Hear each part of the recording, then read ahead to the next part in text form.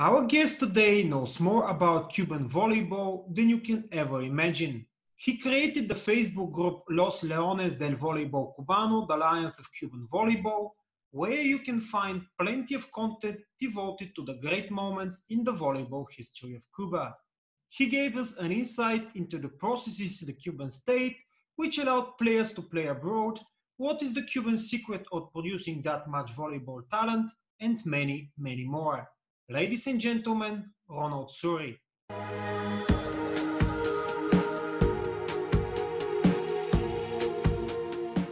Ronald, welcome yes. to First Tempo. Thank you for being our guest. And in first place, I would like to thank you actually for providing us with the opportunity to watch some of the matches during the season in Italian League. And to thank also Nasko, Atanas Karachansky from the Bulgarian Facebook group Fans of the Italian Volleyball Championship who contributed largely for your participation today in the podcast. You know very much about Cuban volleyball, so I'm not sure where to start from, but since when have you been watching volleyball? When did you create the Facebook group and why did you do it? It is very popular now. It is a very popular group with almost 10,000 members, including some famous names in the world of volleyball. Well, uh, first of all, thank you very much for you having me here. And thanks to my buddy Nasko. He always shows uh, love and support to the Cuban volleyball community and through sharing my, my, my post and the games that I put with so much effort and well, uh, to your question, I think I became a volleyball fan when I was uh, five or six years old. My father told me one day, uh, "Come, I need you to watch me to play volleyball," and I thought he he will play volleyball with some friends, but instead he took me to the one uh, one of the best, uh, one of the first very uh, matches that uh, we we saw in the in the World League. So I was impressed with all those players, and I think it was at that moment that I realized this is my favorite sport.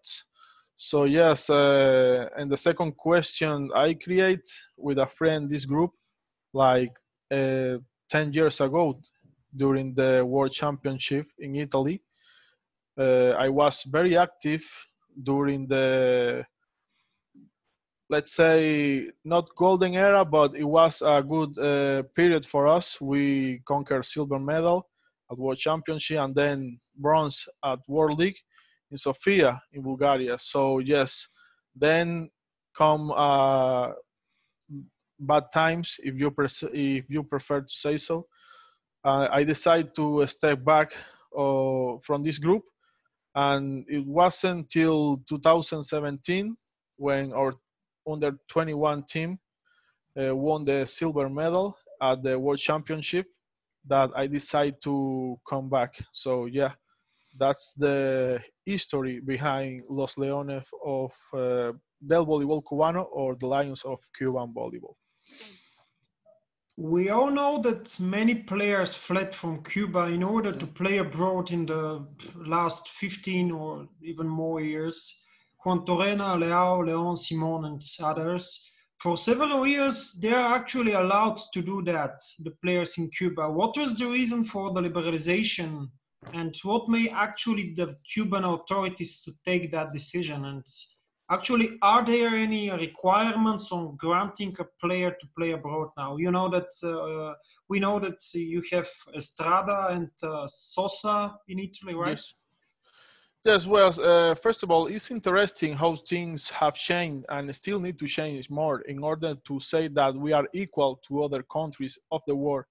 But answering your question, the Cuban sport authorities, which is an extension of our communist government, allow the athletes to sign with pro institution since 2013 or 2014 with uh, the first of all of them was uh, Javier Jimenez, who signed with uh, and then Cepeda, and so on. So they took that decision as a countermeasure because many of the of our top baseball players, which is our national sport, as you know, were escaping, but wasn't a thing from uh, from because of the volleyball players, because in Cuba comes first baseball and then everything else. I am not uh, an agent or a liar, but I can tell you that some of the requirements are that the player cannot ha have an agent behind their signature or at least not in an official manner. So let's say uh, someone uh, get you a contract, but he cannot be present in the ne negotiation with the federation. So it's almost like they always uh, find a way to help the players without getting too much involved. So yes, um, the second part is that the Cuba Federation took 10% of the contract of the player. So let's say if your contract is about 15k, 50k, uh, you will only see uh, 45. So the player doesn't see that 10% in the end of the contract. So that's uh, one of the many reasons we are still having troubles to maintain the players to play for national team. And uh, something similar uh, happened in 98 when the Cuban government uh, opened, let's say open, to our national team members at that time when we won World League. They were allowed to participate in the Italian uh, league for two years. After that, in 2000, the Cuban government decided that it was time to stop and I remember that Ihosvany Hernandez, one of the captain of that team, told me, we receive only 20% of the contract and the rest goes to Cuba.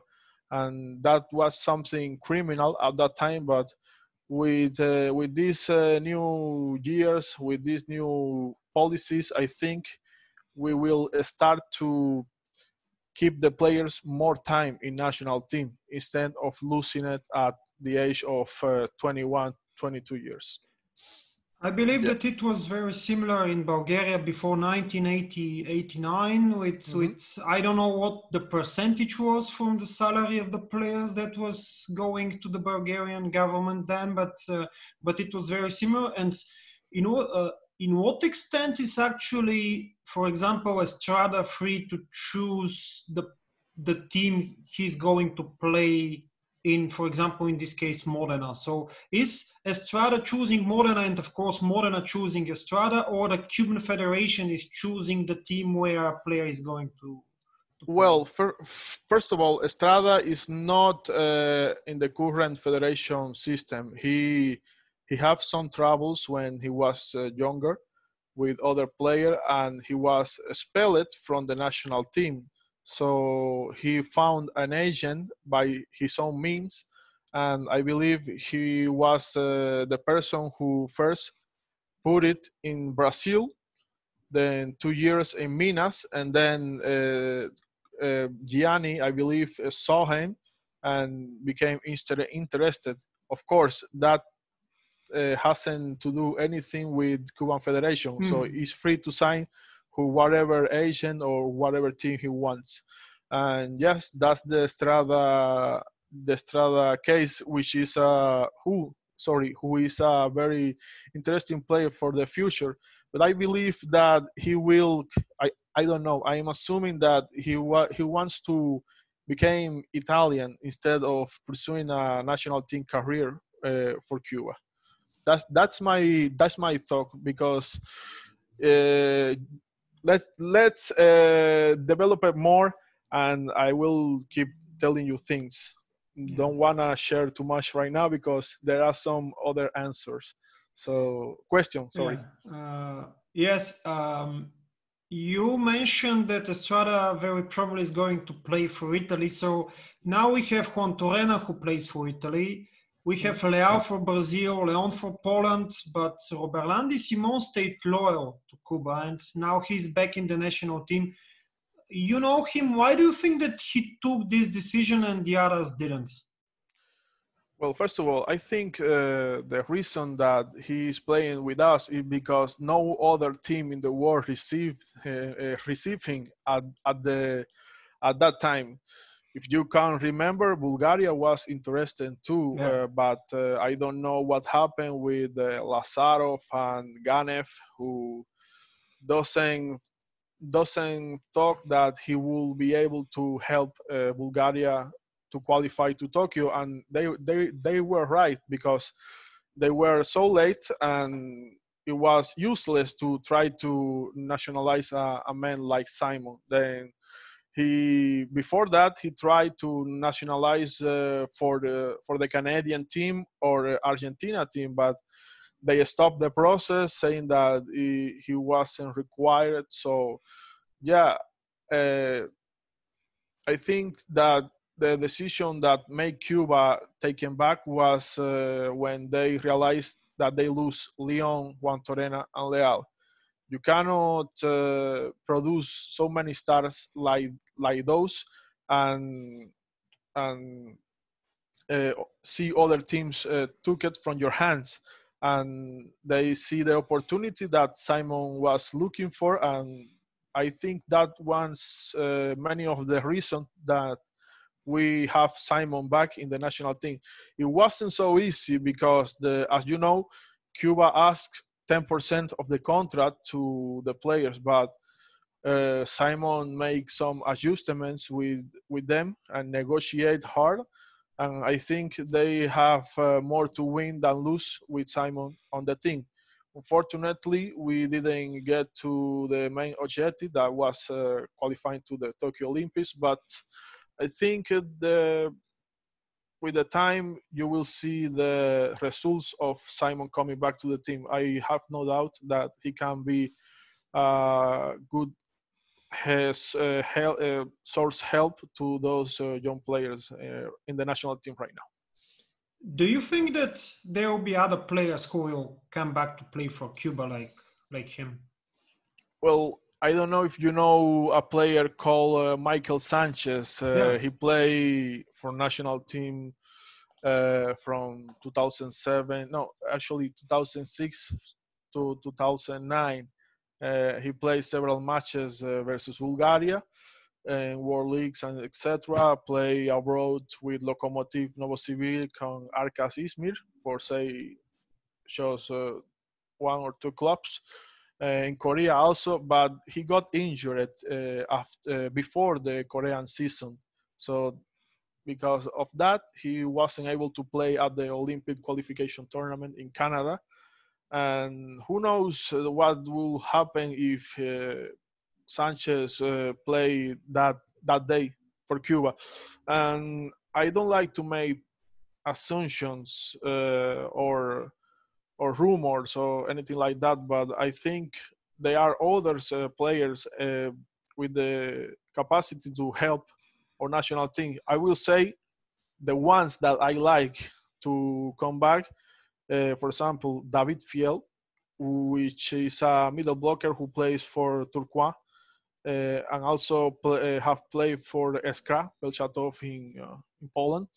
Then there is Sosa, for example, who plays in Trentino, and you know he was involved in the Thailand rape case incident, but uh, he wasn't uh, he wasn't really he was released from all charges uh, innocent. So he he is one of those players in that particular case that could make a comeback, and of course uh, the the ultimate piece of the cake is Luis Elian Estrada. But as, as I told you, he's more concerned right now in his pro career than national team career. So yeah, that's that's those were my my picks if I had to choose.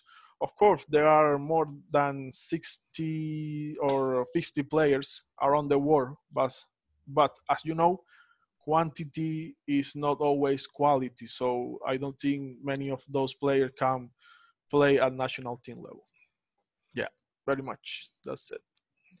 Do you believe that the attitude of the Cuban public towards the players who fled changed? They became citizens of other countries. Are they perceived in some kind as traitors? Well, uh, not for me, of course. Uh, I am very proud of what they become in their careers. You know, uh, you remember those players battling with uh, the team of Bulgaria and Russia in the 2007. They were just a bunch of kids trying to make a good living for uh, their families and themselves. So for me, let's say Osmany Juantorena's is now Olympic medalist and five-time Club World Champion. Leon has the record for any Cuban player in Champions League with four goals. Uh, mm, the let's see, Simon Greatness is uh, beyond words. You cannot describe a player like like like him. I think he Muserskiy and the, uh, have defined the position of middle blocker for so many years. Of course, you have Leal, which uh, which I think is uh, the complement of Leon and and Juantorena both. So yes, and is with these four players, I think we have the magnificent seven, the magnificent magnificent fourth. Uh, sorry, from Cuba volleyball. Uh, I, I I will say that we will have to wait uh, much and much time to see for at least uh, two or three Cuban players like that in the future. But you know, we always have uh, new talents to show the world. So uh, I think in the in the three or five, four years we will see another another beast coming from Cuba. And which will be, in your opinion, these new talents after Leon and, and Leal? And what is the secret on producing that many quality players? Well, you know, uh, like Bulgaria and Russia, we came from the Soviet system, and those men were forged through iron and blood. So I, I will I will be always a fan because in Italy or I don't know USA, you play sports because you like you you you want to become good and you have a passion to follow. In Cuba, Bulgaria, or Russia, uh, you don't have uh, so much opportunities. So if you are a good athlete, you can you can support your family. You always uh, live uh, and put your line uh, put your life on the line always with those uh, long uh, long lasting training hours and uh, travels and and I don't know the matches. Uh, you sometimes you win, you lose, but always thinking not on you, uh, but in your family. So I think that's one of the secrets. The other one is the physical physical talent that Cuban have for for this sport. They they still have the same system that the Soviets uh, created, uh, which is uh, the physical uh, preparation for the game more than the technical one.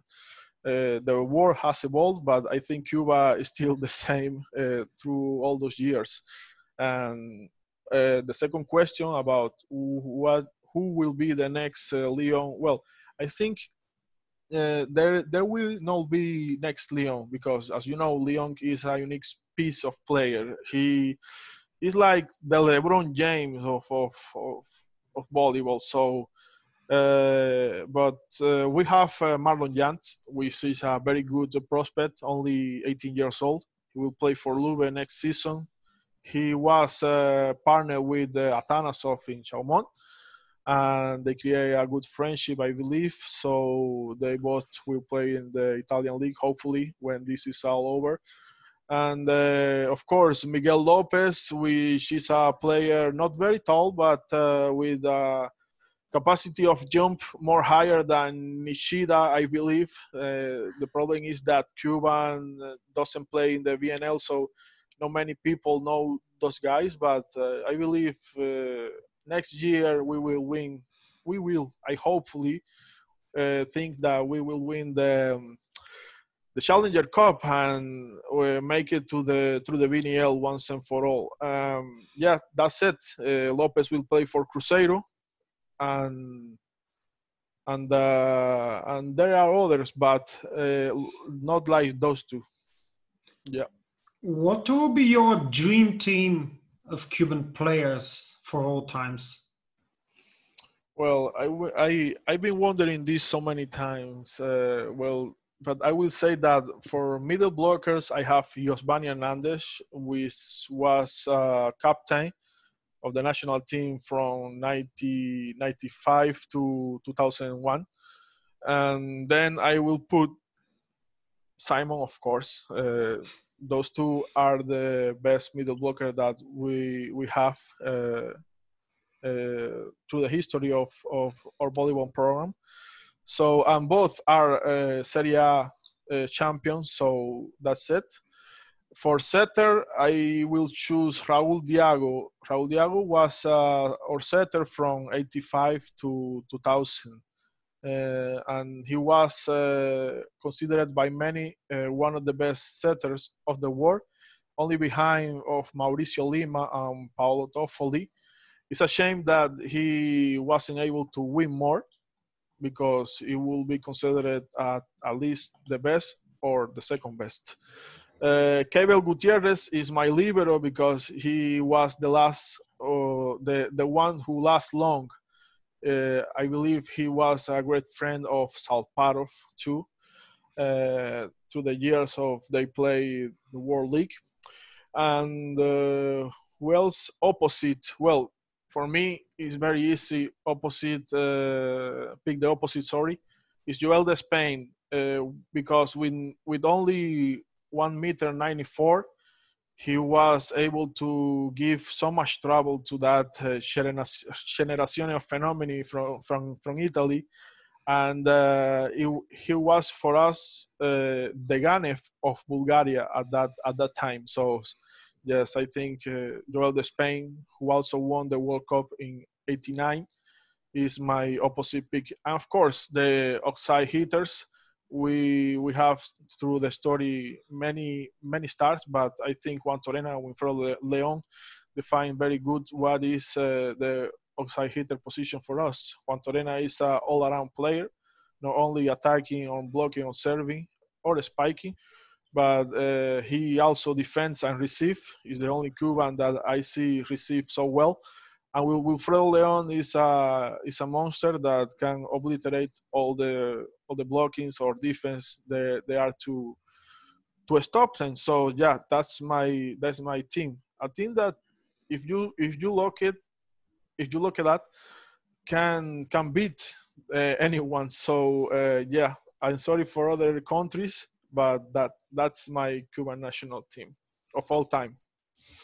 You mentioned in the beginning the World Championship in 2010. Uh, what are your memories from the match against Bulgaria? Because it was very painful match for us, I believe. And after that, from the semi-final against Serbia and the final against Brazil. Well, you know, before that uh, championship, well, I was 17 years old. Now I have 28. And the the premise about that is that Cuba will finish uh, for, uh, in a place from one to eight we didn't think that was possible to reach the final.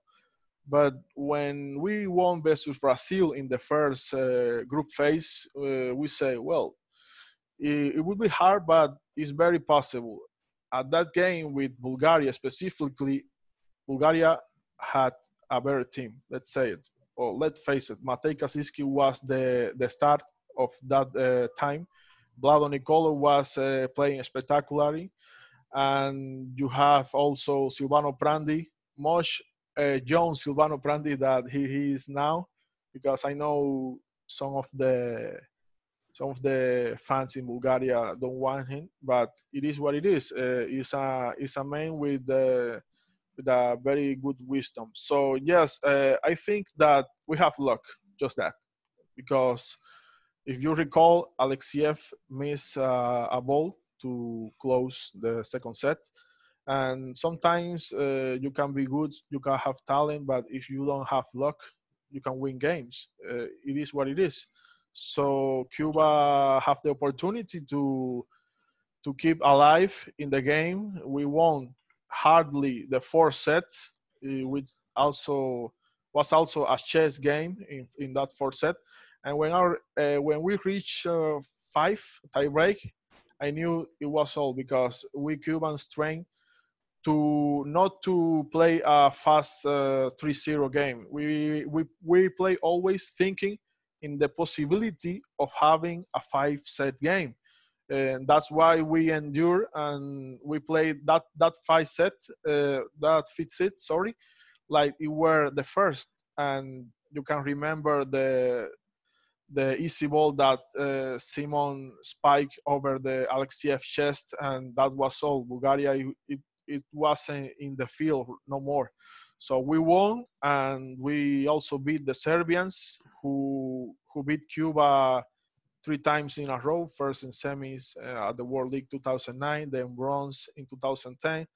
Then we uh, they beat us at the other phase group in that World Championship, and we say enough. Uh, we have enough of Miljković, we have enough of Grbić, and this is it. We won the silver medal, and as I recall, Simon told me that uh, after that game they were uh, they they make a party, you know, and the Brazilians who were more uh, experts player also invite them to drink and, and party all the night. And well, they barely sleep uh, that night. And well, you know what happened the the the day after. It wasn't a final. It was like a training for for Brazil national team, and they they won us because they also they were the the very prepared team, and we were the most. I believe Cuba was the youngest team on that competition. There is no such thing as the youngest team reach the final. So uh, I think that generation, which I call the miracle generation of Cuba, uh, make uh, make history that that day when we conquer silver. And well, that's it from Italy World Championship. Good memories. Yeah, yeah, very good memories for you. Uh, another good memory: the female Cuban team in Sydney 2000 was an Olympic champion, but with the years you lost your leading role in women's volleyball. What do you believe is the reason for this significant drop in the women's direction? Well, team women team uh, has the things let's say more easier because back in the 80s and 90s uh, there were only two or three teams good in, in women, which was uh, uh, C, CC, CCP or units, uh, Soviet Union, uh, Brazil, and China. That's it. That was the the all uh, scene in women volleyball, and, and also Cuba. So we were pioneers in that uh, style of uh, physical play for the women, which uh, you only see in in men volleyball. So the girls play uh, were playing pretty much like men. They training with the I believe two 250 uh, they they put the net 250 and training with men. And so i think that one's that was one of the secrets that women team have. Uh, also our coach was considered by many uh, a guru of volleyball implementing the old system 4-2 with two setters. And that was one of the advantage. Um, of course you have the luck of having in your team several stars like Mireya Luis, Carvajal, Torres. Uh, that was a series of things that made our female team the best in the world uh, of that decade. So after that, you know what happened? Soviet Union fall, fell. The money for sport it wasn't the same. We didn't develop the young category so much uh, for for women team, I think. And the other thing is that if you only create two or uh, one or two talents per year, and you lose uh, that talent in uh, uh, at the very young age, at a very young age, like Melissa Vargas, you cannot expect to have a good team in in five or four years. That that's impossible. So, uh, with that being said, I think that was uh, many uh, the reasons that our female volleyball uh, disappear right now. As for the male team, well, in the 90s we we don't didn't have only two or three teams, uh, two or three teams, sorry, there was USA, Brazil, Italy, Netherlands, Bulgaria, Russia, and unfortunately, uh, Netherlands, Brazil, and Italy always were ahead of us. So it was very much uh, hard to win as a men team that the female perspective. So yes, pretty much uh, that what happened with uh, with the, not only volleyball, uh, just with all the sports in Cuba, from 50 gold medals in 92 Olympics to only five now. Uh, we barely make 10 medals overall, and it's not only Cuba. All the Soviet countries uh, developed the same problem. So yes, it's pretty much that. Lastly, do you think that Cuba can regain its positions from the past and what is the future? Well, uh, as I said before, we have uh, young and talent players. Mm, we just need time to develop, like Bulgaria, and uh, maybe we lack size. Not we don't have uh, tall guys like like you guys or Russia but uh, we are not so far from from the real level of the war right now. I believe that in the next uh, World Championship, we will see a very much uh, a better team than the 2018 uh, World Championship in in Bulgaria. So I think for the next four year, our goal will be uh, reach the sixth best team in the world. We have talent to do to do so. So people retires, you know, after the Tokyo Olympics. Many of the these stars will will retire. Juantorena, Anderson, maybe Mikhailov, Muserskiy, and the, the this will be the the beginning of a new era and like 10 years ago when we won world champions uh, world champions in silver uh, cuba have a bright future ahead of them. So i think yeah that that we that will be the case. Also we don't have uh, money to pay an italian coach like like bulgaria but uh, we only need to play more as a team and wait. This this actual team only have uh, four years together and they were close to qualify to tokyo it's a shame that canada has uh, had more experience but i think uh, with two or more years we will ready to to rock the world if you prefer to say so mm. yeah ronald thank you very much for your participation and that you accepted the invitation to be our guest in the podcast. And I hope that this situation we are put in is going to end as quickly as possible and we are going again to enjoy volleyball like like before. Thank you again. Thanks, thank you to to you, Bogdan, and thank you to my my buddy Atanas Karashansky or Nasko, if you prefer to, to call it uh, always uh, putting the sharing the Verona games, which I think the most yeah. beloved club in Italy for you, the Bulgarians, because of uh, uh this is. coach. I, I I don't know the name. Uh, the, the, the coach of Verona. Uh, of and, and Asparuhov, that is yeah. the young bright kid that Bulgaria have. Also, another good players. I I think the the kid who who is playing in the NCAA. Uh, yes, he's pa- very good too. Pa- Parapunov, Parapunov, of course. Uh, I think he will be he will be the successor of of of Tsetso when he decides to re- retire from national team. So yeah, Bulgaria have uh, a very interesting group too. Uh, yeah. They just need, as I say, time and uh, solve some problems that I think you have in the in the federation. As we Cubans has uh, also. So yeah, yeah, that's pretty much it. Uh, thank you very much again, and thank you. I, I, would like also to thank Nasko, and uh, uh, by the way, we have also, also some very talented players in the in the 2003 when they were born in 2003. So I, I believe that they could develop. So very, yeah, very, size, very nice indeed. Yeah. And, and size is important too in, in at this uh, at this era. You know, if you don't have a size, uh, is pretty much it for at, at, least for men volleyball. You know that women volleyball is a complete different uh, game for me.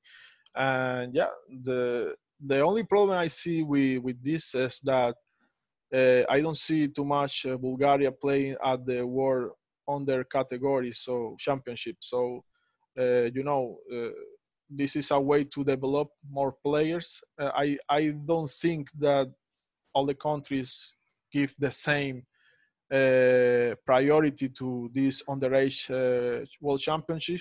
But I was uh, listening to one of your first podcasts with Vlado Grbić, and he said that the mentality of the new generation players is not the same that 20 years ago. Of course, it's not the same. We now you can see kids uh, uh, more attaching to their cell phones than the a volleyball ball. is is normal. So I think that with the right mindset, we can see not the same volleyball as 20 years ago, but something interesting like we see in your players like Atanasov or uh, Parapunov, uh, Asparuhov, Jan, and so on. So yeah, thank you very much. Thank again. you, thank you again, and see you see you soon again, and bye.